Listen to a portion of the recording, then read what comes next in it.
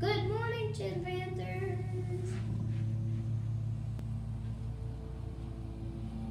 Today is Tuesday, June 22nd, and it's a great day to be a Chinn Panther. I hope you're ready for a great day of learning. I am Brody from Miss Murray's class, and here are your morning announcements. We've got a Spirit Day coming up this Friday, everybody. The theme is Sports Day, so come to school on Friday rocking your favorite sport attire, sports attire. Let's show some spirit for your favorite team from any sport. Also, keep in mind that the student stores open before school on Fridays during summer school. We are halfway through summer school, everybody.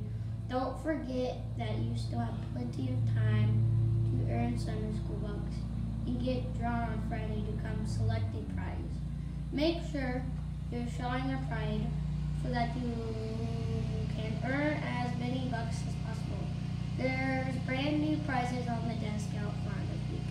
So let's turn in a great week uh, Chinn and see who earns those awards. Forecast today is shooting back up to hot and miserable. Yesterday we had a cool 75 degrees as our high, and today is a high of 88. But with humidity and plenty of sunlight to accompany our heat today, the real feel should be a few degrees above 90. So we hope you cherish that cool day yesterday because from here on out it looks like it's going to get hot and stay hot.